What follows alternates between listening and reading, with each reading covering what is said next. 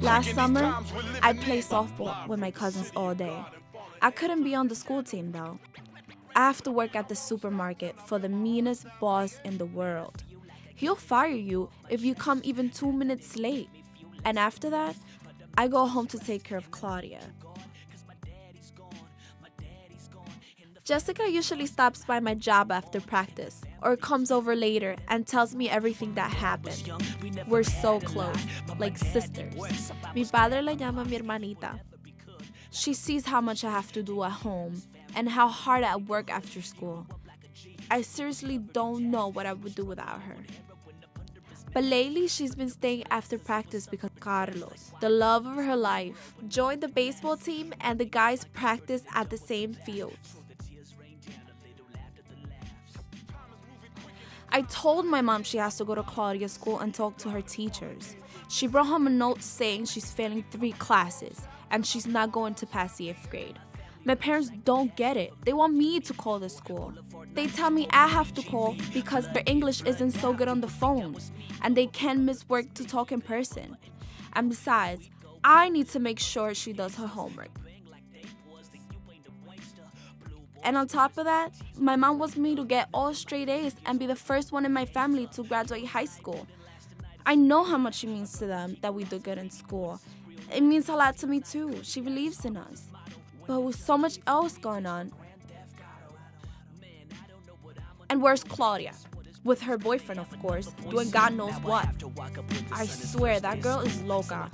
When she gets in trouble, I get in trouble. It's always my fault.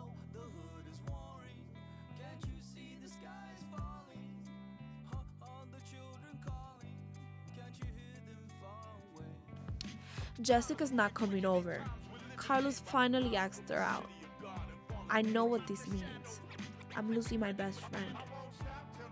I can't deal with everything on my own. What am I gonna do? I wanna disappear.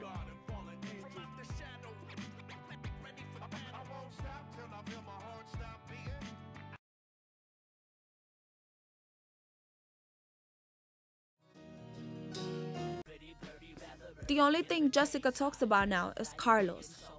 They officially been going out for two weeks, but it feels like forever. Don't get me wrong, I'm excited for her.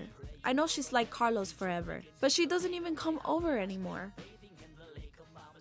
Then I found out I'm not passing history. I failed my midterm. I couldn't study for it because I had to work the night before.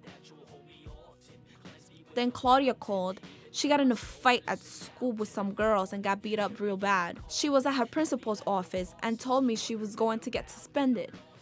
What am I supposed to do? If I go get Claudia, I'll miss my shift at work. I'll get fired. How can everyone expect me to do it all anyways? They all want me to be the perfect daughter, get the perfect grades, on top of taking care of Claudia and being a cook and a cleaning lady, and working at the supermarket. I just don't want to deal with it anymore. I just, I don't even want to live anymore. It's not worth it. Yo me quiero matar. They will feel so bad at my funeral. My mom and dad and Jessica and everyone else. Everyone would realize how bad I felt all this time and feel guilty for making me do so much and take care of everything.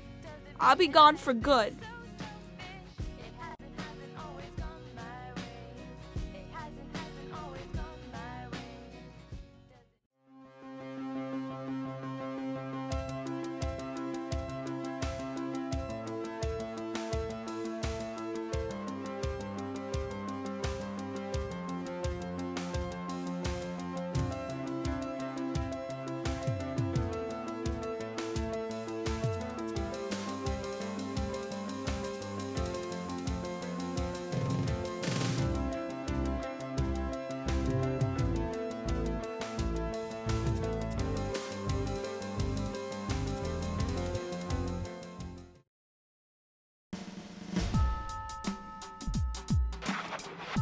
I went to get Claudia and her principal wouldn't talk to me because I'm not her parent. I knew this would happen. I went to work late and my boss told me to go home because I didn't have a job anymore. Jessica called me on my way home. She said she was skipping softball and she wanted to meet up with me. I told her I didn't feel good. but she said she really wanted to see me. The first thing Jessica said was that she was really sorry she hadn't spent much time with me lately. I didn't want her to feel bad, but I didn't have the energy to pretend like I didn't care. I just felt so bad about everything, and I knew Jessica could tell. There's only so much you can hide from your best friend. So Jessica goes on to say she's worried about something I said earlier that I wanted to die. She thinks I should talk to someone about getting help to deal with Claudia and school and work and my parents. I told her that I actually thought about seeing the counselor, but I didn't want to. You can never really trust them. But then Jessica said I can't think about hurting myself. If I hurt myself, I hurt her too. We're like sisters. She's always gonna feel what I'm going through, even if she's not there all the time. Finally, it felt like I wasn't alone anymore. I know she's not gonna be there every minute, but I know she really does care about me. I'm going to go to the counselor for her. Well, and for me too.